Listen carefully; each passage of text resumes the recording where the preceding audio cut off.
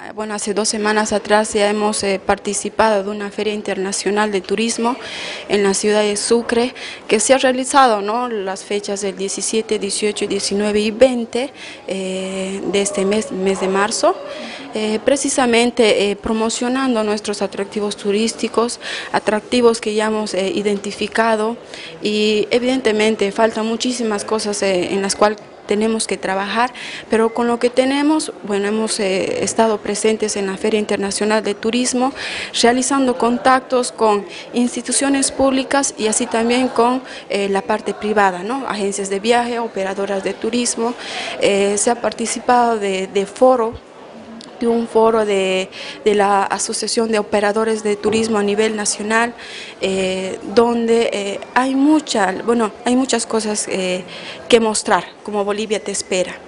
¿No?